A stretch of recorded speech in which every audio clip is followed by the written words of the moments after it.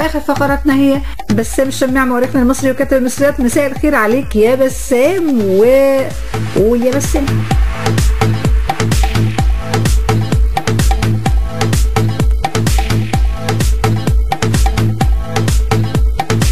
مساء الخير يا وفاء ومساء الخير على جميع مستمعينا في إذاعة الشرق الأوسط الجميلة. ورجعت لكم مرة تانية ورحلة من رحلاتنا داخل دهاليز وسراديب هذا التاريخ العظيم التليد.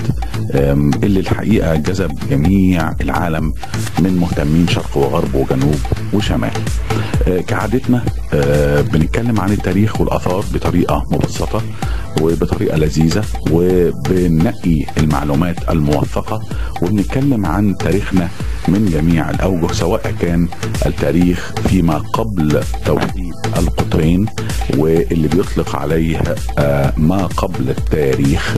وإزاي إن هذه الثقافات والحضارات المصرية كانت متناثرة على جميع أماكن ومساحات أرجاء الوطن العزيز مصر. آه، ثم حصل آه، توحيد القطرين وبدأت عصر الأسرات وهلم جر على جميع فقرات تاريخنا. آه، عابرين بالتاريخ النوبي العظيم الجنوبي العظيم. على إزاي اليونان والرومان لما احتلوا مصر وإزاي تأثروا وأثروا. تكلمنا فرس لما جم مصر. أيضا الحضارات آه، المتعاقبة آه، آه، حضارة دولة الإسلام آه، العظيمة والتاريخ الحديث وأسرة محمد علي ما لها وما عليها. ولكن النهارده نتكلم عن أشياء جميلة جدا أيضا وتعالوا مع بعضنا نبتدي الرحلة.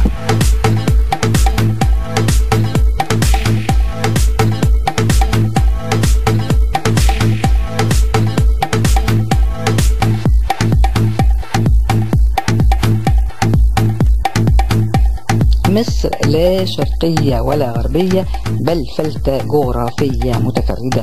جمال حمدان اللي هيشرحه لنا بسام الشماع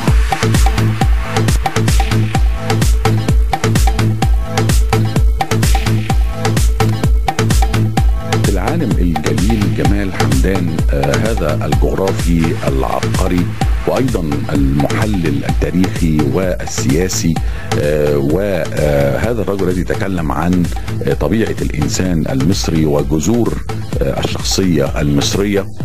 هذا العالم الجليل اللي آه، كل جملة يا وفاء لما بنيجي نقراها في أعماله العظيمة تشعري وكأن كل جملة وجبة دسمة قدامك تستطيع أن أنت تلقطي منها الجواهر واللآلئ بجد. جمال حمدان اللي بنصح الجميع آه، لقراءته آم، وعبد المكان لمصرنا العزيزة. له قول جميل قوي آه، يا جماعة. بيقول إيه العالم الجليل جمال حمدان؟ بيقول مصر لا شرقية ولا غربية بل فلتة جغرافية متفردة.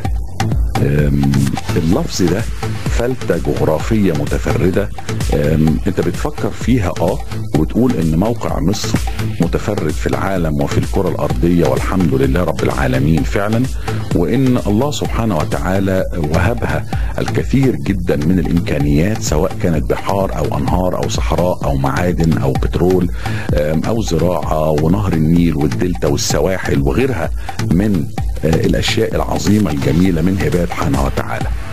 مصر فلتة جغرافية متفردة. أحسنت وصدقت يا عالمنا الجميل جمال حمدان.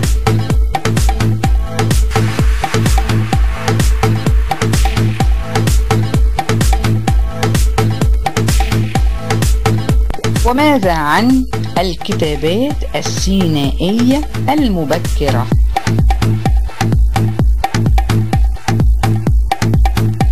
وكمان لما في أوائل القرن العشرين آه، بدأ آه، علماء الآثار يبحثوا في أشياء كثيرة وفي أماكن كثيرة في سيناء واكتشفوا الكتابات آه، والرموز العجيبة اللي لقوها على الصخور وأطلقوا عليها الكتابات السينائية المبكرة واللي علماء بيقولوا عليها إن هي أقدم أبجدية في العالم.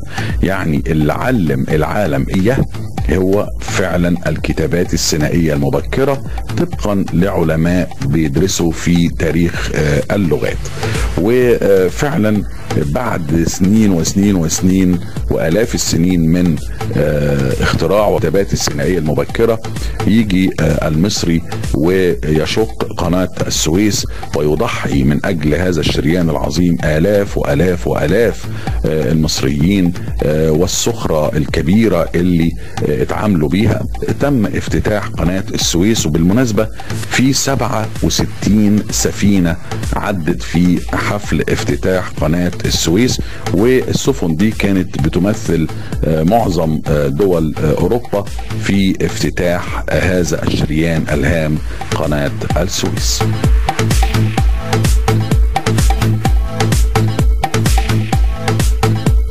تعالوا نسمع جوزيف هوبس قال إيه عن سيناء. يعني آه تعال نشوف مثلا المعبد بتاع أرتمس. ده كان الكهنة والصلوات وكده وكان بيبقى مقفول والشعب يعني مش هيخش كل العالم مش هيخش معبد أرتمس يعني. آه هرم خوفو كان معمول علشان الملك خوفو.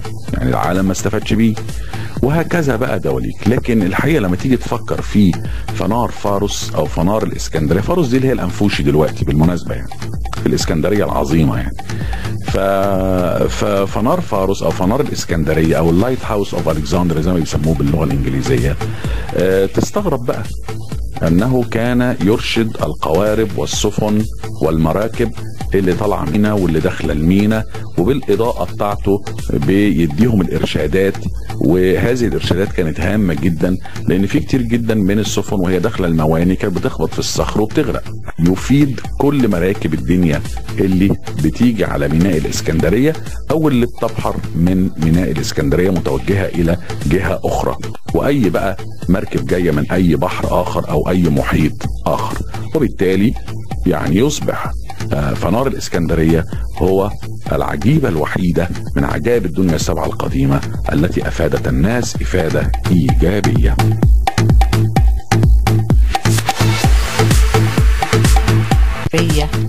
قبل توحيد القطرين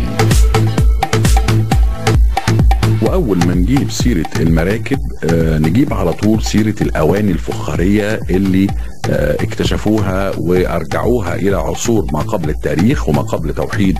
مراكب كبيرة جدا لها عدد كبير جدا من آه المقاديف وعليها مقاصير وعليها ناس واقفة. بل كمان شفنا مناظر رسمها المصري القديم جدا اللي ما قبل على المركب. وأيضا لقينا دفة يعني لقينا في مركب عليها رسم الدفة. بل بقى المفاجأة الكبيرة إن إحنا لقينا من ضمن الرسومات برضو شفت مرة رسمة على آنية فخارية آه للهلب. اللي بيترمى في يثبت المركب في المية ولا تتحرك من مكانها. نتكلم عن هذه المركب الخشبية اللي بيطلق عليها مراكب أو مركب الشمس واللي في علماء بيصروا على تسميتها بمركب خوفو. هرم الملك خوفو في منطقة هضبة الأهرام. على أي حال عايز يسميها المركب المصرية القديمة عايز يسميها هو مركب عملاق. يعني نحن نتكلم عن بيصل لحوالي 43 متر. اكتشاف 14 قارب قديم بيصل يمكن الطول بتاعهم بعد ما درسوه بيصل إلى 23 متر. وتم إثبات إن القوارب دي أو المراكب دي كانت بتستخدم قبل دفنها يعني كانت بتستعمل في الملاحة وفي الانتقال وفي أغراض كثيرة جدا قبل دفنها. الاكتشاف دوت تم في منطقة أبيدوس الغنية الثرية بآثار مصر القديمة في الصعيد العظيم بغرب البلينة بسوهاج. وتتوالى الاكتشافات الحقيقة والتاريخ المصري والأرض المصرية يا جماعة دائما بتبقى خطيرة جدا وعجيبة جدا. ومنها بقى الاكتشاف اللي جاي ده.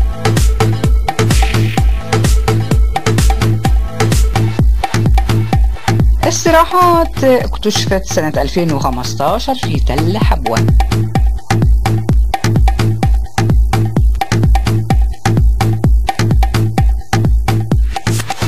اسمح لي بينا وفاء ننهي فقرة النهاردة بالاكتشاف الرهيب ده اللي كان في سنة 2015 يعني مش من بعيد السنة اللي فاتت. وتم الكشف عن استراحة ملكية للملك جحتمس الثاني وواحدة تانية برضه للملك سيتي الأول وواحدة تالتة لرمسيس الثاني رعمسو الثاني بموقع أثاري بتل حبوة. وطبعا تل حبوة ده المنطقة العظيمة اللي تبعد كيلومترات قليلة جدا عن الأنطرة شرق واللي اكتشفوا فيها في تل حبوة؟ اكتشفوا فيها قلعة ثارو وهي أكبر وأهم قلعة عسكرية في التاريخ القديم ودي اللي خرج منها جيوش مصر التليدة العظيمة علشان تحافظ على أمن البلاد وتبدأ رحلتها إلى آسيا وأيضا لحرب وحروب زي الهكسوس والهكسوس كان لهم أيضا باع في هذه المنطقة وهم كان في حتة الاحتلال اللي هم احتلوه لمصر حتى تم التخلص منهم على يد الجيش المصري بقيادة الشاب أحمس أو إيعاح مس نطلق عليه بالهيروغليفية وهنا يا جماعة وصلنا بالمركب المصري القديم إلى نهاية فقرتنا النهاردة معاكم يا وفاء. بشكر طلالة التاريخية وإن أنتوا بتعلنوا الاهتمام في هذه أيضا خليني أفكركم إن الفقرة ديت بتتسجل وبتنزل على اليوتيوب فعلى أساس إن إحنا عايزين نشيرها وعايزين نبعث بهذه المعلومات الموثقة إلى العالم وإلى الجميع.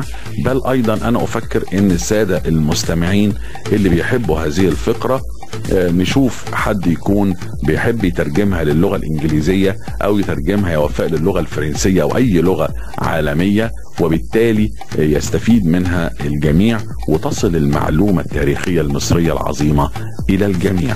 لحد المرة اللي جاية إن شاء الله خير ونتمتع جميعا بقراءة تاريخنا المصري العظيم.